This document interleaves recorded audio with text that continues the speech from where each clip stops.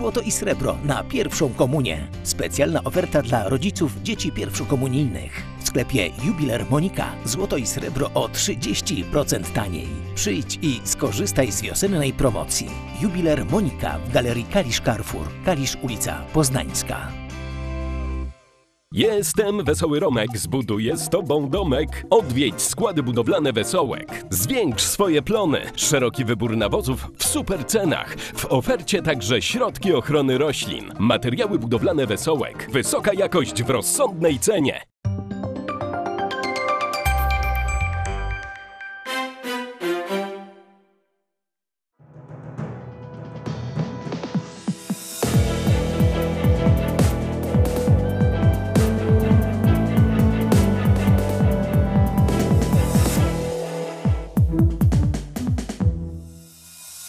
Agnieszka Walczak, dzień dobry. W środę 16 maja zapraszam na magazyn miejski. Poranna akcja CBA w Kaliszu. Zatrzymany były komendant główny policji. Jest to jedno wielkie nieporozumienie, skandal. Staliśmy się ofiarami walki politycznej. Festiwal sztuki aktorskiej na półmetku. Nauczyłem się współgrać z widzem. Studenci zapraszają na swoje święto. i wszystkich mieszkańców, którzy po prostu chcieliby się dobrze bawić.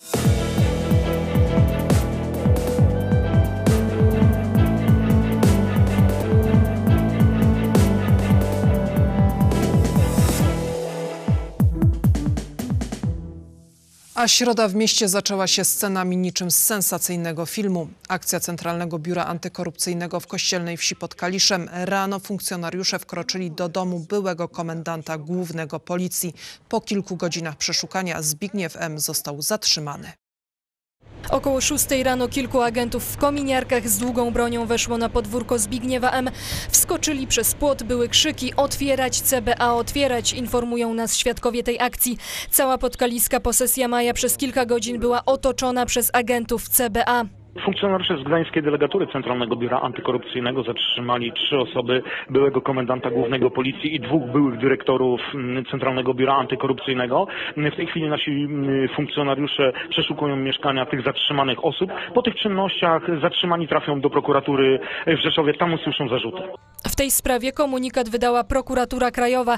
Zatrzymanym zostaną przedstawione zarzuty dotyczące m.in. ujawniania informacji z prowadzonych postępowań karnych oraz na temat planowanych dopiero czynności operacyjno-rozpoznawczych, co naraziło na szkodę interes publiczny oraz interes prowadzonych postępowań karnych. Kaliszanin Zbigniew M. został komendantem głównym policji 11 grudnia 2015 roku. Dokładnie dwa miesiące później podał się do dymisji. Jedną z jego pierwszych decyzji było prześwietlenie pracy policjantów Biura Spraw Wewnętrznych, czyli tzw. Tak policji w policji. To właśnie oni, według nieoficjalnych informacji, mieli przygotować przeciwko Zbigniewowi M. kompromitującą go operację. Chodziło o sprawę sprzed kilkunastu lat, kiedy Zbigniew M. pracował w CBS. Wtedy jeden z informatorów pomówił go o przyjęcie łapówki. Sprawa została wówczas wyjaśniona i zamknięta. Kiedy Zbigniew M. miał zostać awansowany, ludzie z Biura Spraw Wewnętrznych Policji wrócili do tego tematu, znaleźli rzekomo nowe informacje i przekazali je prokuraturze. Ta prowadziła tajne śledztwo. Aby nie wpływać na jego przebieg, Zbigniew M. zdecydował o odejściu.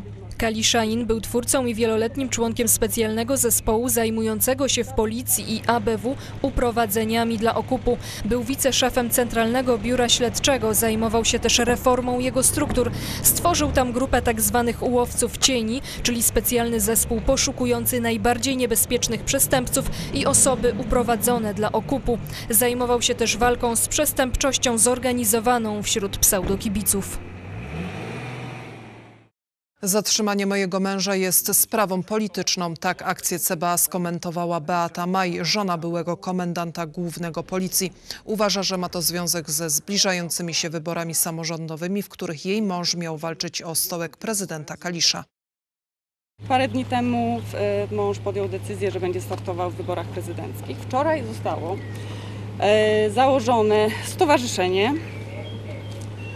które będzie rekomendowało męża, męża w tych e, wyborach.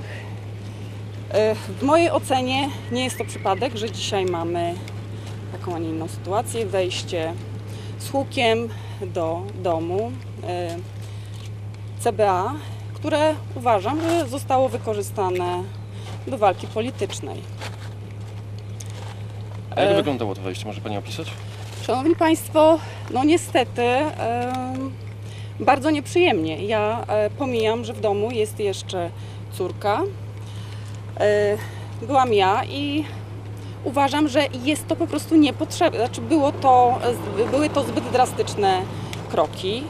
E, uważam to, powtarzam jeszcze raz, za skandal. Czy usłyszeliście, czego dotyczy ta sprawa? zarzuty, czy zostały postawione, Proszę Państwa, proszę Państwa, nie znam szczegółów.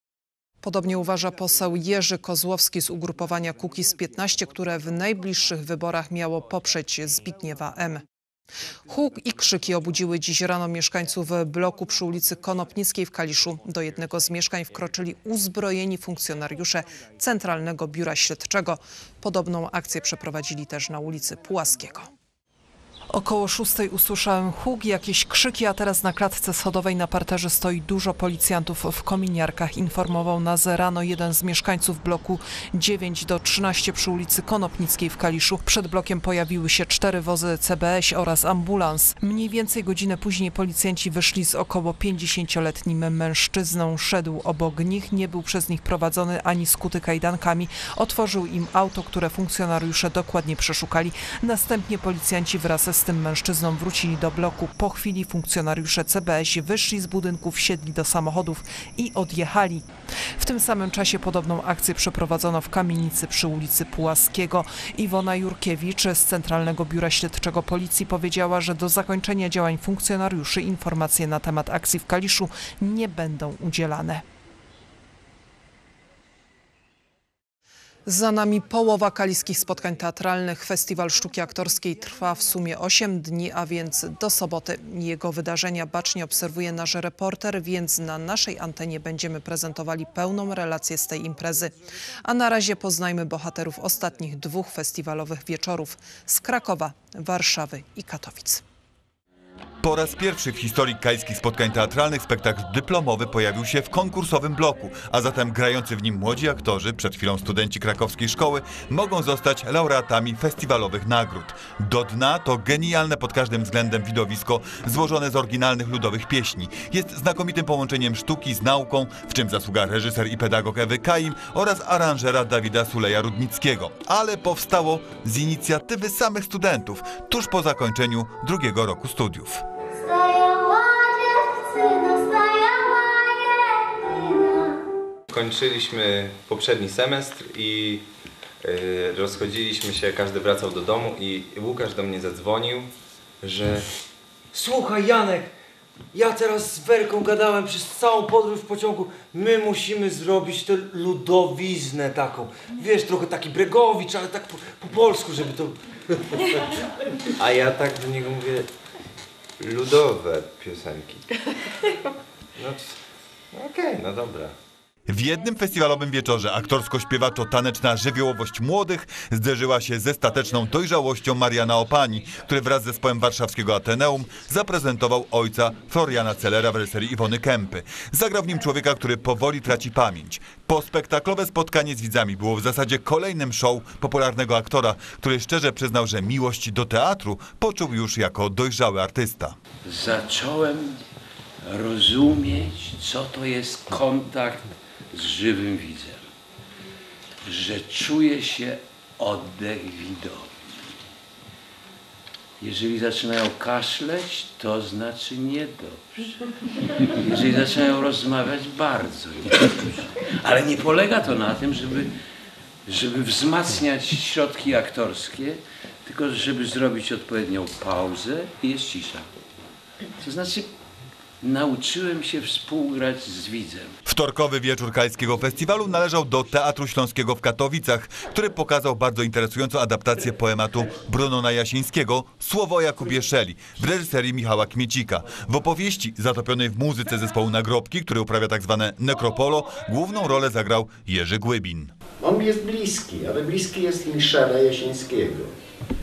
Znam jego dzieje, ale nie opierałem się ani na, ani na źródłach historycznych tak do końca, aczkolwiek warto wiedzieć niewątpliwie.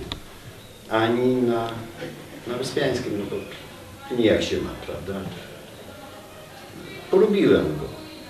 Polubiłem go, bo nie- czułem, że w tym facecie coś się literackim szedł oczywiście. Przed nami jeszcze cztery festiwalowe wieczory, które dają możliwość podziwiania aktorskich kreacji w spektaklach z Poznania, Wrocławia, Łodzi i Warszawy.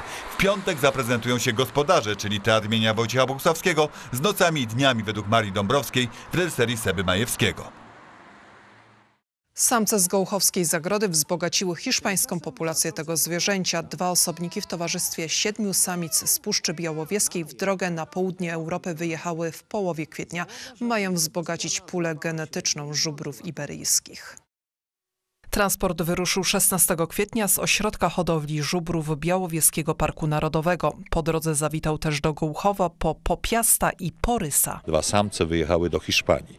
To, co ogłoszenie było, że pojechały z Białowieży, siedem krów. Do tego dołączyły nasze dwa tutaj samce, jeden dwuletni, drugi czteroletni, także już dojechały do Hiszpanii, czują się dobrze, a jeszcze jeden y, wyjedzie do Pszczyny. Od 2017 roku realizowany jest w Polsce projekt Kompleksowa Ochrona Żubra przez Lasy Państwowe. Jednym z jego elementów jest sprzedaż naszych okazów za granicę. W ostatnich miesiącach oprócz Hiszpanii były to Czechy, Węgry i Słowacja. Projekt pochłonie 20 milionów złotych. Spora część zostanie przeznaczona na stworzenie nowej zagrody w Puszczy Augustowskiej. Gołchowska powstała w kwietniu 1977 roku. Przed nami kilka dni dobrej i pozytywnej zabawy. Wszystko za sprawą kaliskich studentów, którzy w najbliższy piątek przejmą władzę w mieście. To dla młodych kaliszan czas pełen niezapomnianych wrażeń i złapanie oddechu przed zbliżającą się sesją. Juvenalia zakończy koncert zespołu wideo. Około 1200 studentów obchodzić będzie swoje święto. Juvenalia. Od piątku miasto należeć będzie właśnie do nich. Natomiast imprezy towarzyszące temu wydarzeniu potrwają już od czwartku. Oficjalne Dni Żaków rozpoczną się w piątek o godzinie 12 pochodem z PWSZ przy Nowym Świecie przez Śródmiejską w stronę ratusza. Tam studenci otrzymają klucze do miasta, którym będą rządzić do soboty. Motyw pochodu jest idę na plażę. Wszyscy, mam nadzieję, że bardzo y, chętnie się przebierzemy. Juvenalia to dobra zabawa podczas koncertów, dwa dni rozgrywek sportowych i występ kabaretu Malina. Pierwszego dnia nie zabraknie także wieczornego kina letniego. Będziemy y, mieli nasze wydziałowe namioty, w których będą się odbywały różne atrakcje. Między innymi będziemy pokazywali y, pokaz ratownictwa medycznego, pokaz kurs samoobrony. Y, Odbędzie się też pokazy y, kosmetologii. To tutaj jest z naszej strony, z, osobiście z mojej, z Państwowej Wyższej Szkoły Zawodowej. Uniwersytet y, zorganizuje dla nas kilka zabaw, gier miejskich. Juvenalia to święto studentów, ale organizatorzy zachęcają do zabawy i udziału w wydarzeniach wszystkich mieszkańców Kalisza i okolic. Maturzystów, za którymi już najtrudniejsze egzaminy i też przyda im się trochę odpoczynku. I wszystkich mieszkańców, którzy po prostu chcieliby się dobrze bawić i poczuć tą dobrą energię.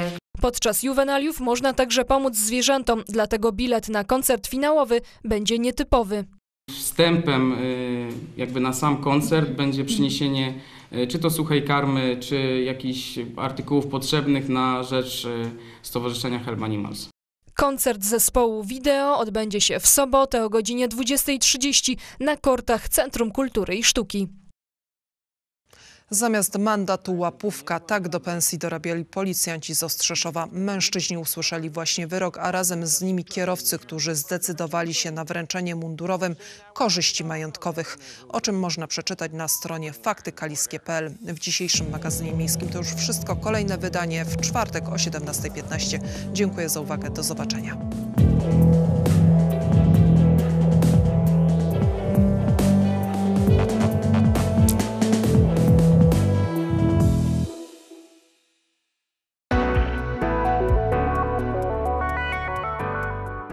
Pochmurny z przelotnymi opadami deszczu. Na termometrach 17 stopni. Barometry pokażą 991 hektopaskali. W nocy dużo chmur, możliwy deszcz. 14 stopni. Czwartek z dużą przewagą chmur, z których będzie przelotnie padać. Od czasu do czasu na niebie pojawi się też słońce. W najcieplejszym momencie dnia 20 stopni. Ciśnienie stabilne wyniesie 991 hektopaskali.